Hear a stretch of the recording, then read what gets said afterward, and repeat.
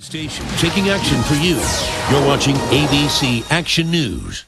The newly named CEO of BP is making bold predictions about the Gulf oil spill.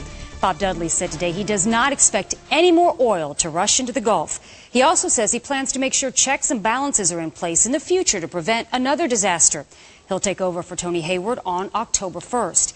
BP's value, meanwhile, continues to plummet. It posted a quarterly loss of $17.2 billion today. BP's stock is now at $38 a share, down from almost $55 before the oil disaster started, April 20th. Well, the company also faces billions of dollars in lawsuits, and today we learned that the majority were filed right here in Florida. Tampa's Steve Yerrid is a trial attorney tapped by Governor Charlie Crist to lead the charge in oil-related claims. Yerrid also took on big tobacco and won. Now he's putting together a team of attorneys who have experience handling long, complex trials.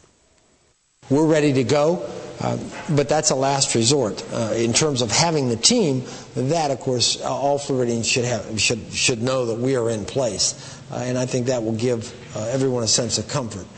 Today, BP also pledged to sell $30 billion in assets before 2012 to pay for costs related to the oil spill in the Gulf.